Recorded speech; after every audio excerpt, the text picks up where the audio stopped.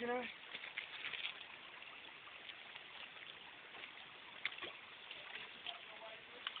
Yeah. Well, it was pretty cold at Leamington. That was a month ago, but we still got a couple.